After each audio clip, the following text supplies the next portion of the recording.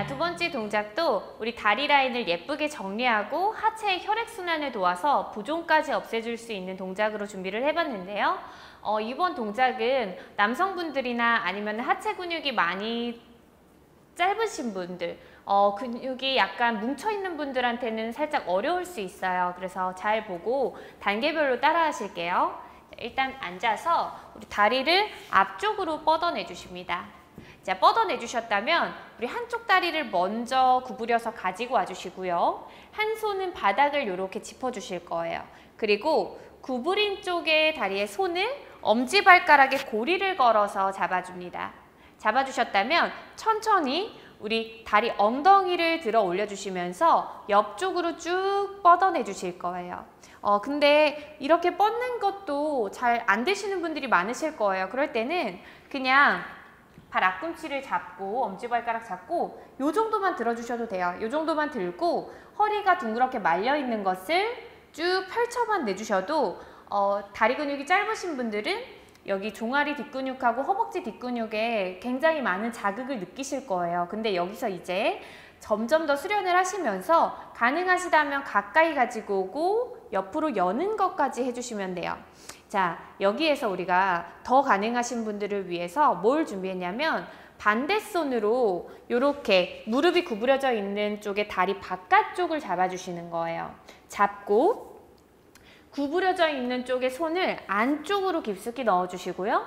천천히 다리를 위쪽으로 쭉 뻗어서 올려주시고요. 시선은 반대쪽을 바라봐 주십니다. 자, 물론 이게 처음부터 되지는 않지만 지금 제가 알려드린 것을 단계별로 차근차근 하시면 여기까지 하실 수가 있어요. 자, 호흡 세 번만 가다듬어 볼게요. 하나, 내쉬고, 둘, 내쉬고, 셋, 내쉬고, 천천히 다시 돌아오셔서 그대로 다리를 떨어뜨려 놓고 잠시 휴식해 주시면 됩니다.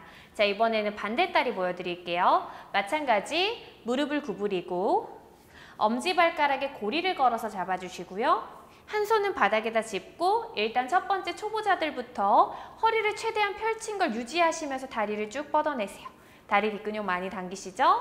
점차점차 가까이 가지고 오시다가 어느 정도 수련이 되면 옆쪽으로 여기서 이제 더 가능하신 분들은 반대손으로 바깥쪽을 잡고 열어내며 시선은 반대쪽을 바라보십니다. 호흡 세 번 해볼게요. 하나, 내쉬고, 둘, 내쉬고, 셋, 내쉬고, 천천히 다시 돌아오셔서 다리 떨어뜨려 놓고 휴식해 주시면 됩니다. 빠르게 다시 한번 보여드릴게요. 무릎 구부리고 엄지발가락에 고리, 허리 잡고 아 허리 쭉 펼쳐서 다리 펼쳐놓기. 자 여기에서 단계별로 천천히 가지고 오셨다가 가능하시면 엉덩이를 살짝 들어주면서 옆쪽으로 들어 올려주시고요. 더 가능하시면 무릎 바깥쪽 짚고 열어서 시선 반대쪽. 그대로 다시 떨어뜨려 놓고 내 자리로 돌아오시면 됩니다. 자, 지금 이렇게 동작을 하나씩 하나씩 보여드렸는데 한 동작을 하실 때마다 호흡을 한 10번 정도 유지해 주시거나 아니면 30초 정도 머무르고 휴식해 주시면 됩니다. 여기까지 우리 하체 근육을 예쁘게 만들어주고 부종을 없애줄 수 있는 자세였습니다.